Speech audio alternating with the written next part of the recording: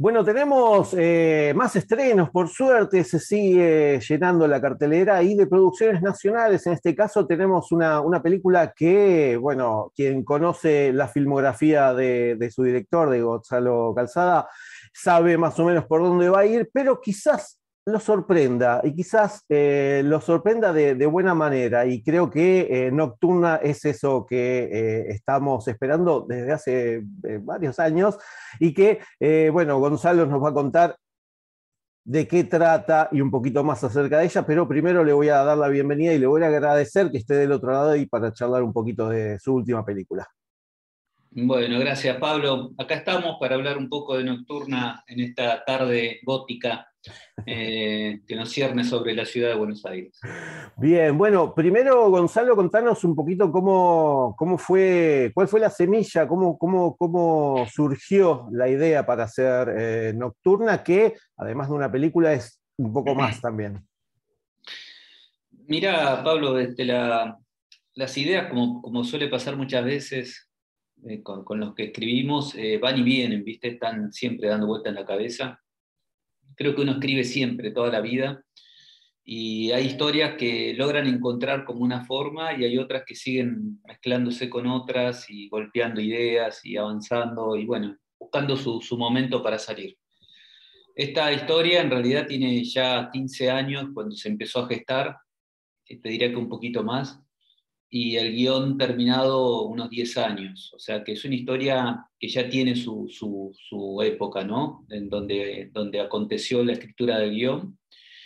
Yo en ese momento era un joven, imagínate, eh, que vivía en un departamento, en un edificio grande, muy grande, de estos este, medios racionalistas de los años 50, es decir, con pocos ornamentos, techos altos pero no tan altos, no eran de 5 metros, eran de 3 metros y medio, 4, pasillos largos, muy largos, siete departamentos por piso, terrazas grandes y desoladas, sótano, era bastante siniestro, no tenía balcón. Eh, y bueno, y este, este, en este edificio en el que viví solía pasarme que eh, una o dos veces a la semana a la noche se escuchaban ruidos en el departamento de arriba. Pero no eran cualquier ruido, era como si alguien arrastrara un armario, ¿viste? O, una cama. Eh, eran muebles pesados.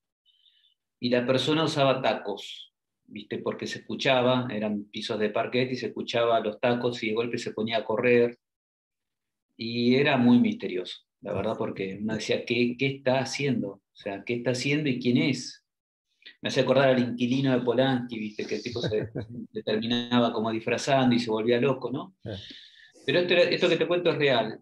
Eh, y, lo terrible de esto es que eh, nunca pude saber quién es la persona que vivía arriba, pero durante mucho tiempo eh, ese departamento estuvo abandonado. Entonces, y el sonido se escuchaba igual. Así que eso es una historia realmente fantasmagórica eh, que me ocurrió eh, y que complementada con otro hecho, pegado, solapado a este, que eh, una de esas noches que estaba escuchando estos ruidos me golpean la puerta, una de dos de la mañana, ¿no? Y cuando voy a abrir era mi vecino de abajo, un viejito, que yo lo solía ver cuando salía a trabajar, era una pareja de ancianos adorables, siempre bien vestidos, también, no el inquilino, pero le veo Rosmarí, podría ser, ponele, ¿no? Eh, que estaban abajo, siempre les, le encantaba estar abajo saludando a la gente y qué sé yo, eran como relaciones públicas. Y el viejo estaba bastante consternado porque la, la, mujer se había caído de la cama y me pedía ayuda a él si podía levantarlo, ayudarlo a levantarla de la cama. Por lo cual dije que sí, cuando bajo al departamento de abajo, exactamente del mío, este, y entro al departamento de ellos, fue impactante porque el estado de abandono y de desolación que tenía ese departamento no se condecía para nada con la forma en que ellos se presentaban afuera. Eh, un estado de, no de desolación, que, lo tenía, sino de decadencia y de tristeza, ¿no? de, de desamparo, la palabra, desamparo. Bueno, esos dos elementos fueron como detonadores para, construir esta historia, sumado a algunos recuerdos míos de mis abuelos. bien, bueno, ahí, ahí ya tienen más o menos la gente eh, cómo, cómo, surge la cómo, la, cómo fue la génesis de, de, Nocturna. Y bueno, contanos un poco cómo fue, eh, por qué la película está apoyada, tiene este pilar principal que es el personaje de, Pepe Soriano. Eh, contanos un poquito acerca de este personaje y cómo llegaste a Pepe en este caso, si ya lo tenías a él o si eh, salió mágicamente. No, la verdad que cuando escribí esta historia eh, yo pensaba en mi abuelo, eh, no estaba pensando en Pepe, te, repito, viste, la historia tiene 15 años y, y 10, ponele hasta que se terminó el primer guion, segundo, tercer guion, o sea que realmente en ese momento yo no pensaba en nadie más que en mi abuelo.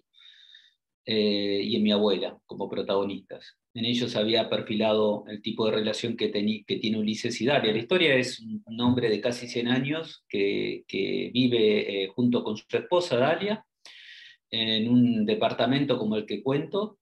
Y, toda esta historia transcurre en una noche y en esa noche ocurre un suceso extraño que eh, le, remueve, le sacude todo el pensamiento a este hombre que además hace ya rato está perdiendo la memoria, por lo cual no logra discernir qué cosas de los acontecimientos que ocurren esa noche son reales y qué cosas están dentro del laberinto mental de sus recuerdos y de sus miedos. Es una película que parece al principio, que, que, viste, habla de, de, un drama, que, de una pérdida de la memoria, de la ancianidad, del fatalismo, del fin de la vida, y de golpe la película va tomando una textura completamente distinta y se vuelve una película más bien de género fantástico y su temática va más allá de la radiografía de la vejez en la gran ciudad. Creo que es una película que habla de la trascendencia y fundamentalmente del perdón y de la redención. Ahí está ubicada la película de una manera muy distinta a como se suele hablar de la ancianidad. Yo no vi el padre, pero me imagino, o Amor de Haneke, bueno, estas películas donde se habla desde un lugar un poco más realista, más crudo, más seco, eh, yo preferí optar por, por, una experiencia que había vivido con mi abuelo, que él cuando empezó a perder la memoria, empezó a vivir una revolución de libertad, eh, no de locura y fatalismo. Eh, se resistía a mi abuela, se volvió a un niño, estaba feliz, y me gustó esa idea como, como para contar que finalmente la vejez es tal vez la última de nuestras grandes batallas. Y creo que es una batalla que si uno llega a esa edad, está bueno vivirla con las botas puestas.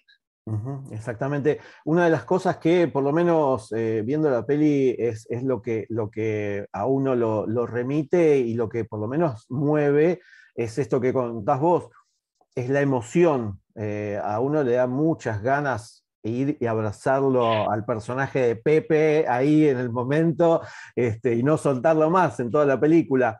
Eh, ¿cómo, fue eh, la dirección de, actores? Mm, no son muchos los actores, pero están dentro de, esta, de, esta, de este universo que creas en este, en este departamento, en, este, en esta locación, que, eh, bueno, la verdad que es, magistral. ¿Cómo, ¿Cómo, fue guiarlos, cómo fue llevarlos dentro de, la historia de Nocturna? Bueno, locación y actores para mí se miden eh, con la misma vara a la hora de, dirigir una película. Te quiero decir que para mí la cámara, eh, la locación, la fotografía y el actor es toda una unidad. Nunca lo separo. No, hago películas de actores, yo hago películas de mundos trató de generar un mundo. Eh, entonces el mundo se constituye de todos estos eslabones y creo que todos interpretan la película, no solamente el actor, sino el fondo, eh, la cámara y la luz. Y son recursos, y el vestuario y el arte, por supuesto, son recursos muy valiosos para el, para el actor, ¿no? así como lo es el vestuario, que lo va ubicando en el personaje, también lo es la locación porque lo hace entrar en un clima. No es lo mismo filmar en una galería con un tapón y, que, le decís, acá está tu habitación, que llevarlo a una habitación donde todavía se siente el olor a humedad. Te entras en ese clima, se nos pasó en Resurrección, nos pasó en Luciferina, en La Plegaria del Vidente, en Luisa y en Nocturna también, en las cinco películas. Eh, después, con ese mismo criterio manejo el tema de la selección de actores, ¿viste? Si es una película sobre un hombre grande, de casi 100 años, eh, no creo en el actor que tiene 70 y se lo maquilla, sobre todo para una película como esta que atraviesa tantos arcos, y sobre todo porque yo quería mostrar una belleza en el cuerpo del hombre grande. Entonces, eh, no, me recité la idea del maquillaje y empecé a buscar eh, los actores posibles que, pudieran tener la calidad actoral y al mismo tiempo esa, esa imagen.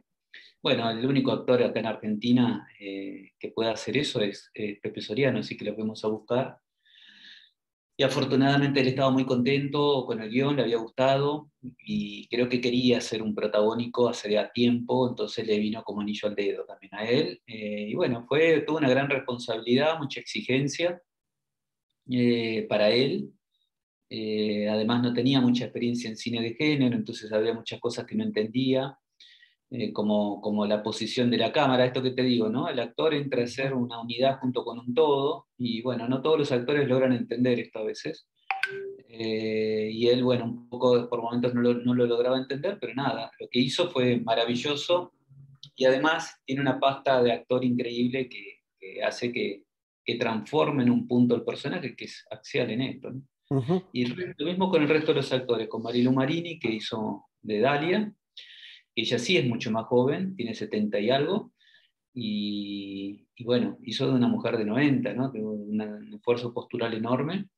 Y bueno, eh, el resto del elenco, la verdad que son gente genial, algunos amigos de toda la vida, como Desiree, que viene laburando conmigo ya hace rato, uh Desiree Salgueiro, eh, Lautaro, con quien nunca había trabajado, que fue un placer, eh, Lautaro Delgado me refiero, y los niños, ¿no? Genaro Nouet, y bueno, después Nico Escarpino, Javier Rosón, Marina Artigas, hay una serie de apariciones pequeñas que todas suman.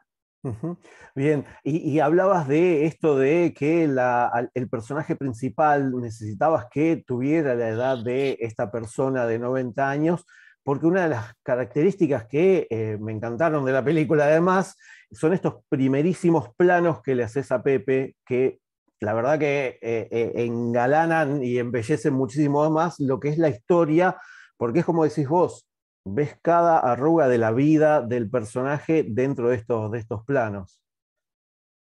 Sí, es un recorrido por el cuerpo de un hombre grande eh, y por la memoria, porque yo creo que esas arrugas que están puestas en las manos, en, en el cuerpo, en su rostro, son arrugas de memoria también. Están están marcadas por la memoria, por el dolor, por, por, la vida misma, y quería imprimir esa, esa sensación de, de, realismo, pero no es la palabra realismo, de encarnadura en, la historia, y por eso me quería aproximar, además de fragmentación, ¿no? porque como que hay una ruptura de la, de la una ruptura del tiempo a través del espacio quebrado, ¿viste? Ese tiempo se quiebra y se quiebra a partir de, fragmentos del espacio y ese espacio está encerrado en, en, distintas partes de este hombre grande y en distintas partes del departamento y del edificio, ¿viste?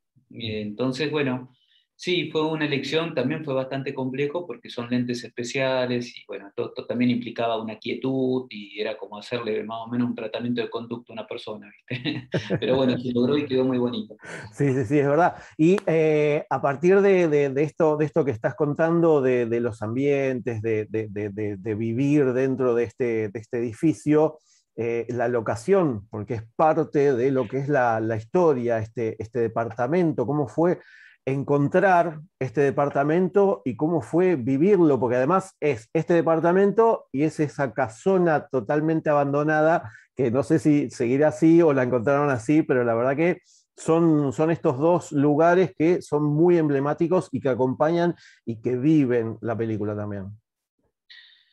Bueno, en un principio yo quería un departamento como el en el que yo había vivido, quería generar esa angustia pero esos departamentos son muy difíciles de conseguir y muy incómodos de filmar. Y nuestra producción era muy chiquita, muy limitada, entonces eh, optamos por un departamento que, que nos llevó, digamos, eh, la historia. La historia sigue siendo la misma, sencillamente tuvimos que readaptar algunos elementos para hacerla más creíble. Este es un departamento que estaba en Congreso, ya no es de los, de los 50, sino que es de los 20, ¿no? ya más un palacete de estilo afrancesado, ¿viste? ya sí ahí con techos de cuatro metros y medio, cinco incluso, las paredes son enormes y las puertas son gigantes, por lo cual empezó a tomar el carácter más gótico, que no tengo ningún problema, o sea, o quise llevarlo a un universo más onírico y de cuento. Más de cuento, ¿no? De palacete, como, el, no sé, como la reina de las nieves, ¿viste? Ellos están encerrados en esa casa gigante que es como un palacio, palacio medieval, ¿viste? Una cosa así, un palacio renacentista en realidad, ¿viste? Donde están ahí encerrados en esa noche eterna. Me empezó a gustar esa imagen. Y bueno, entonces este, fuimos eh, armándolo como pudimos, porque está todo fragmentado eso también técnicamente hablando, ahora no narrativamente, sino técnicamente hablando, es decir, el edificio se filmó todo en un lugar, todo lo que eran los pasillos, ascensores y puertas, y el interior del departamento se filmó en, otros, en otro lugar, que era gigante, que más o menos se unía en el estilo, ¿no? Eh, eh, claro, y yo me resistía a esto que te digo del decorado, ¿viste? prefiero llevarlo a un lugar y que estemos todos más incómodos, porque estábamos todos más incómodos, pero de nuevo, son recursos que yo creo que le dan a la, película un, cuerpo, una identidad, un mundo que es fundamental. Y después, bueno, fue un trabajo de arte muy grande de Alicia Vázquez y todo su equipo para unir estos dos lugares, ¿no? Se, se, armó como un palier falso con esas puertas que se las tuvo que reconstruir falsas, pues eran puertas gigantes de, cuatro metros, más o menos, unas puertas enormes, en, en, lo que fue cerca de la cacha de San Lorenzo, que era el interior del departamento. Lo mismo que el patio. El patio, los dos puntos de salida de la casa, hubo que reconstruirlos como se veían en el edificio de Congreso.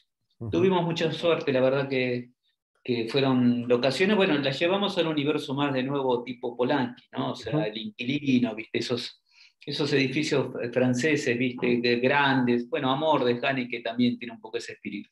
Sí, sí, eso, eso también le dio, le dio seguramente otra, otra, otra forma de, demostrar lo que es eh, Nocturna.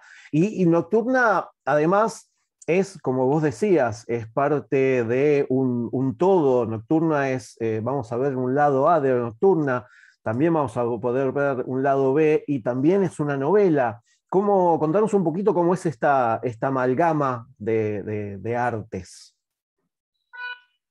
Eh, en realidad como la historia pasó tanto tiempo eh, para que se pudiera hacer, eh, hay algunas historias que me sale muy caro que, queden tal vez en el limbo, ¿viste? en el limbo de no hacerse. Esta era una, por lo cual las historias que yo considero que valen la pena las empiezo a novelizar.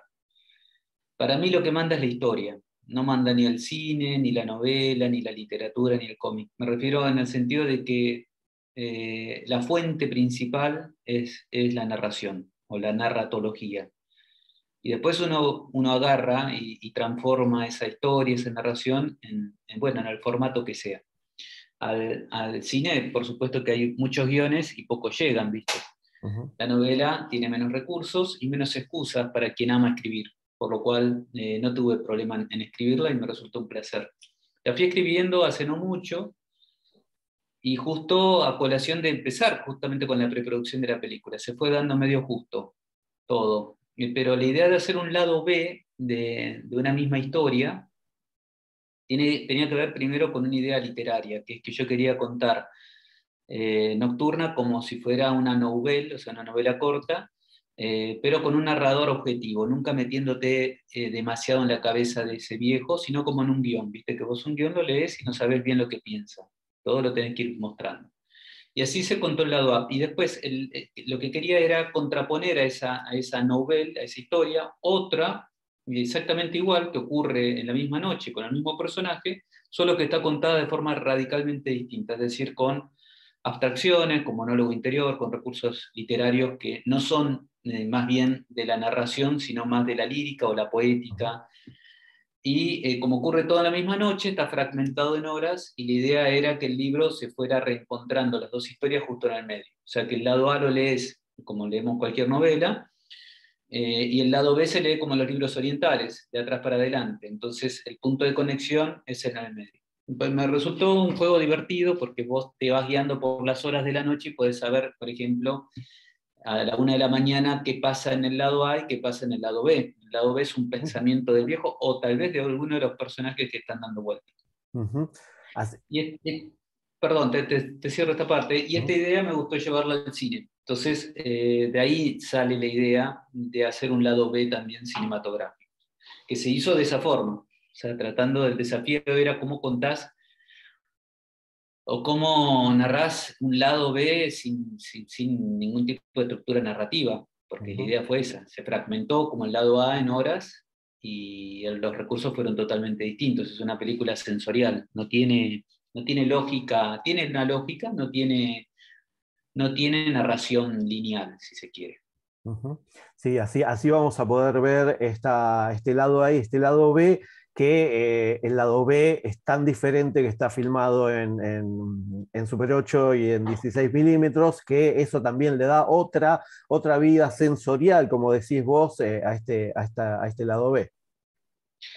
Sí, porque el lado A es una película narrativa clásica dentro de un canon, y bueno, eh, lo, que siempre se genera con una película narrativa es que vos tenés que ocultar los hilos para, no romper la evocación. O sea, que no se muestra nada ¿no? de los recursos, yo no te muestro cómo está armado el decorado, y mucho menos te muestro eh, el formato. Formato digital, eh, paradójicamente para mí, si bien es buenísimo porque nos permite hacer un montón de cosas, es un formato que no tiene humanidad para mí eh, la pérdida del celuloide no solo significó una nostalgia por, el ronroneo y todo lo que sabemos que, que pasó en los 90, sino que eh, hay algo mucho más importante y peligroso que se pierde eh, y que pasó un poco desapercibido en el 95, y que es la idea de, de una imagen corpórea. Nosotros tenemos un cuerpo y sentimos a través del cuerpo. Eh, y la forma de hacer cine con el celuloide era una forma más orgánica. No digo todo, pero uno podía encontrarse con eso.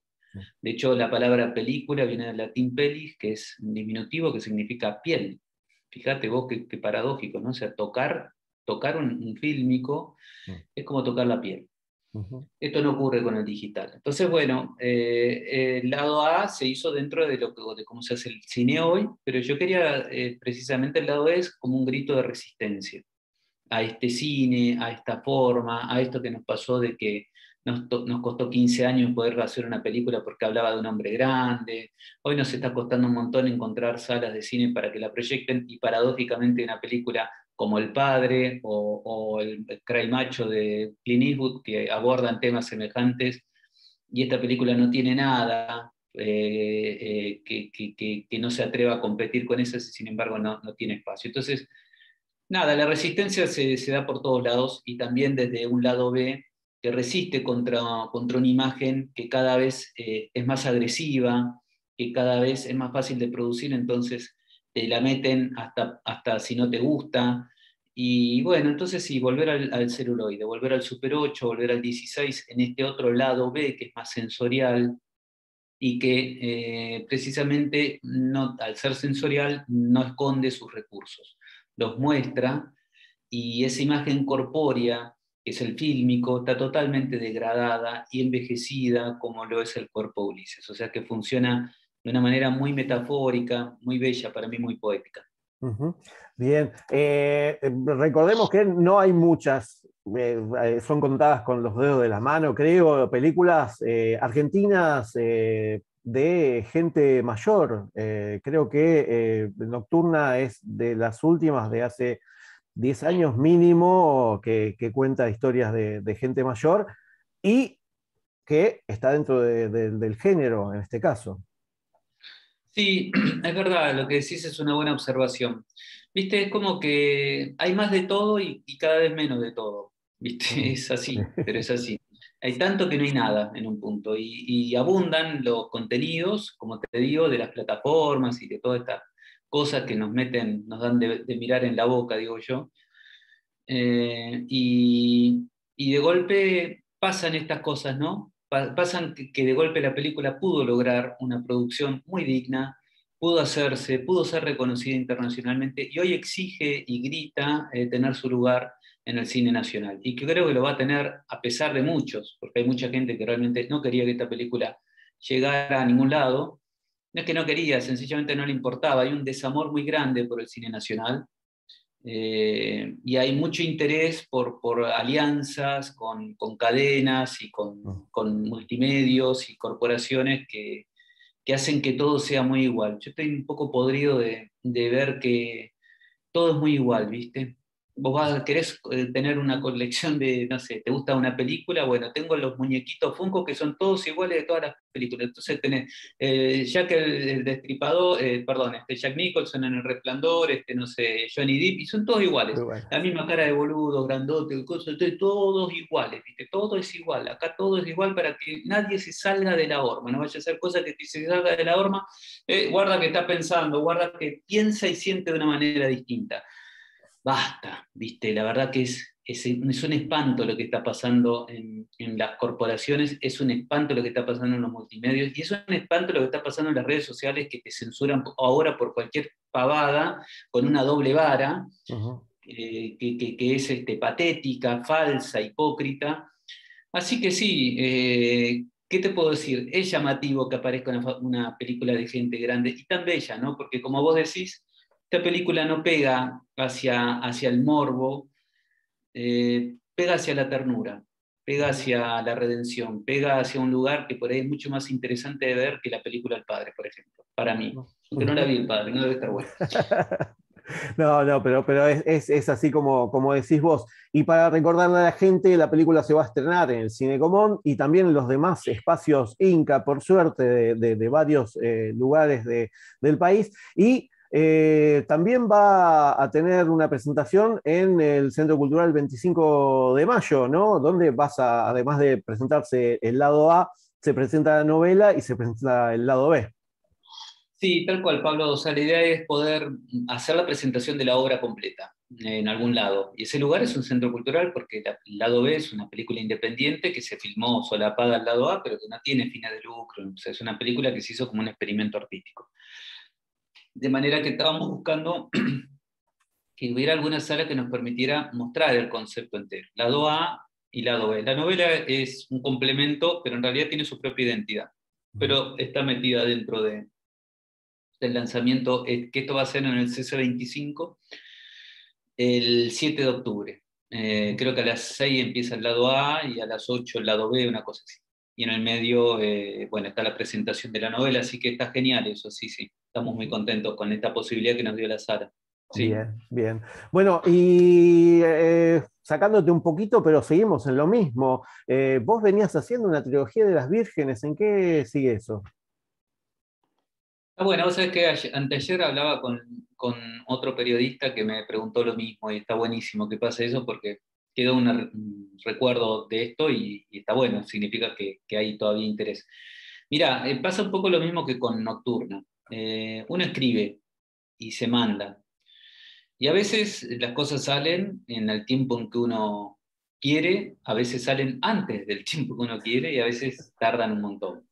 La voluntad en esto es fundamental y también eh, no quedarse de brazos cruzados si ves que las posibilidades no son las deseadas. Entonces, ahora te respondo por esto y te digo, por ejemplo, Luciferina se filmó en el mismo año que se estrenó Resurrección. O sea, yo tuve que escribir, hacer todo un proceso fue una salvajada que, no, convenía, yo no lo vuelvo a hacer más eso, eh, y, es decir, se anticipó al deseo, ¿no?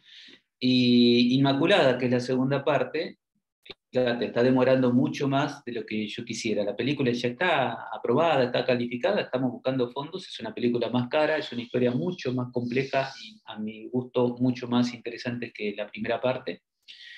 Y los tres guiones están escritos, y lo que no he tenido tiempo es de terminar de darle forma a las novelas, porque no voy a esperar. Es decir, si mi objetivo es que si, porque realmente me gusta esta saga, ¿eh? es una cosa que me apasionó escribirlo, y las voy a transformar en novela. Pasa que gracias a Dios, con, con, bueno, un poco el trabajo que he tenido desde otros proyectos, no me ha permitido poder darle esa forma que quiero terminar de darle. En síntesis, te diría que dentro de un año yo aspiro a que estén las tres novelas en el mercado, eh, y, que se empiece a preproducir la segunda parte. Pero bueno, si no se produce, no me molesta, ¿viste? Mientras, como te digo, mientras la historia tome la forma que tiene que tomar. exactamente, bien, bien. Eh, entonces, te bancamos, vamos a esperar eh, el tiempo que vos decidas, porque, porque es así, es así, uno quiere, quiere seguir la, vida y, en este caso este, la historia que vos nos, nos, querés contar, de la manera que la quieras contar, porque la verdad que es, así como vos estás diciendo, que venimos hablando también eh, de Nocturna.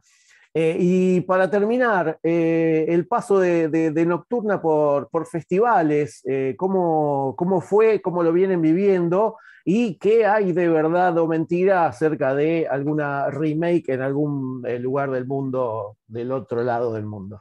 Lado del, lado del mundo, del mundo. O sea, lo que, nos, lo que nos pasó es que la película, como te dije un poco al principio, encontró su espacio finalmente. Eh, el espacio, bueno, tuvo un reconocimiento bastante bueno afuera, eh, ganó premios, ganó un premio importantísimo para mí, que es el en el Festival de México de Cine Fantástico, el Festival Macabro, eh, ganó a Mejor Película Iberoamericana las dos películas, o sea que lograron no solamente aceptar el concepto, proyectar el concepto, en el mismo día, tal como fue concebido. Esto es, cuando uno dice, viste que uno las cosas las hace y ya está, con esa respuesta del otro lado, ya ese feedback fue fascinante y encima ganó. Entonces, este, la verdad que eso fue formidable. Se presentó en el Fry Fest, ahí en Londres, en el Reino Unido, que también impactó mucho la película porque genera esta, emoción, ¿no? Lo mismo que en México.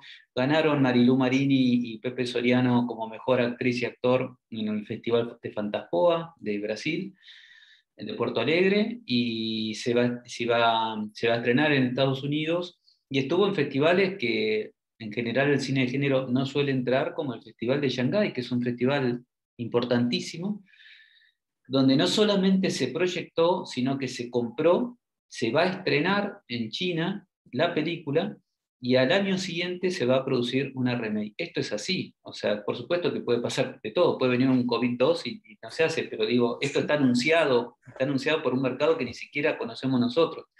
¿Por qué creo que pasó esto?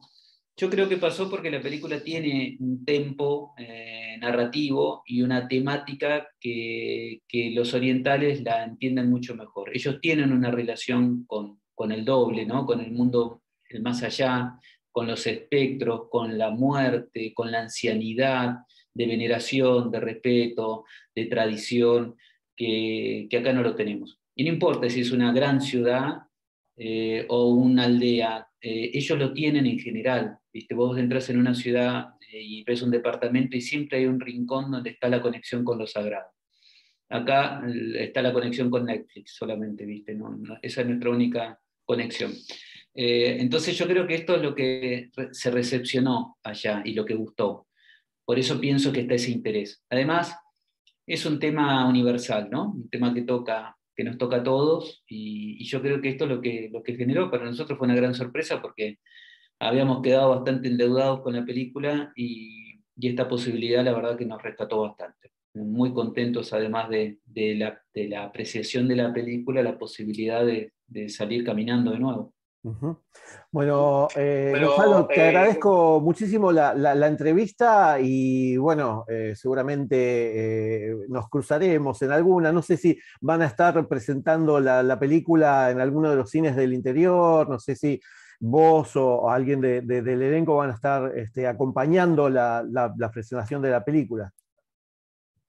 En, mira, en, en, Algomón vamos a estar, en el CC25 también, después se presenta en el Tigre, en el Teatro Pepe Soriano también estaremos ahí. Creo que hay una presentación en Mar del Plata, también vamos a ir a acompañar la peli. Después, ya más en el interior, no, no te sabría decir. No creo, porque yo ya me estoy metiendo en otro proyecto, pero bueno, capaz que sí, viste, hay que ver. Todo es así. Uno lo acompaña igual a la película, la banca, por supuesto. Bien, bien. gracias. No, gracias, gracias a vos, Gonzalo, y bueno, eh, nos estaremos ahí cruzando. Muchísimas gracias. Te mando un abrazo, gracias, Pablo. Gracias.